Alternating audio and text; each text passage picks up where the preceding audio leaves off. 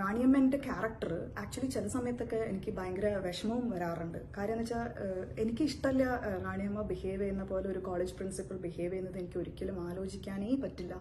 അത് ചിലപ്പോഴൊക്കെ ഞാൻ ആ ഡയലോഗ്സ് ഒക്കെ പറഞ്ഞു കഴിയുമ്പോൾ എനിക്ക് വിഷമം വരും ചില ഡയലോഗ്സ് ഒക്കെ പറയുമ്പോൾ എന്താ വെച്ചാൽ പേഴ്സണലി ആയിട്ടുള്ള ഞാൻ വളരെ ഇമോഷണൽ ആയിട്ടുള്ള ഒരാളാണ്. അപ്പം ഞാൻ ചിലപ്പോൾ ഇങ്ങനെ സ്ക്രിപ്റ്റ് വായിച്ചിട്ട് ഇതൊക്കെ ഇങ്ങനെയൊക്കെ ഒരു പ്രിൻസിപ്പൾ പറയുമോ എന്നൊക്കെ ചോദിക്കും. അപ്പോൾ പറയും നോ ഇത് റാണിയമ്മയാണ്. റാണിയമ്മ എങ്ങനെയാണ് സംസാരിക്കും.